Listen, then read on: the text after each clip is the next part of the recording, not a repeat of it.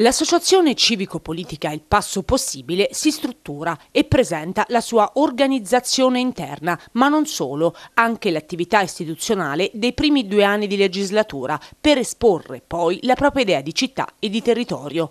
A fare gli onori di casa è stato il presidente dell'associazione Fabrizio Ciccarelli, che ha aperto i lavori mettendo la sede di Via Verdi a disposizione della città in maniera gratuita.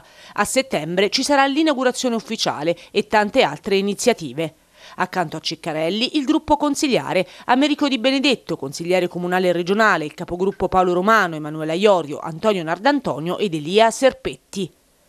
Sentiamo l'esigenza di metterci a disposizione della città, così ha detto Americo Di Benedetto, a partire dall'apertura della nostra sede, per avviare una fase di rilancio del dibattito culturale, per innalzare il livello del dibattito politico e per proporci anche in modo sempre più propositivo. La contrarietà non paga, ha ribadito. Sì, noi abbiamo un'idea di rilancio dell'azione politica nella nostra città e abbiamo l'ambizione anche di una crescita su un territorio più vasto, una crescita che noi eh, la definiamo non come un'ambizione eh, di prospettiva personale ma come esigenza di cambiare il eh, dibattito politico e di dare un contributo culturalmente adeguato alle esigenze diciamo così, dei cittadini.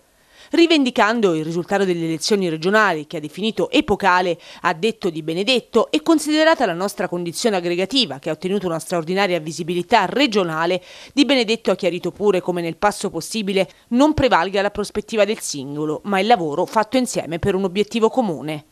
Di Benedetto ha lanciato diverse sfide, esponendo anche quelle che sono le criticità della città, il progetto case ad esempio, la pianificazione, ma anche il turismo. Il centro turistico in mano pubblica non può gestire una realtà così fatta, ha detto. Dobbiamo provare a farla diventare una società patrimonio, col patrimonio conferito dal comune. Non si può sopravvivere facendo turismo così.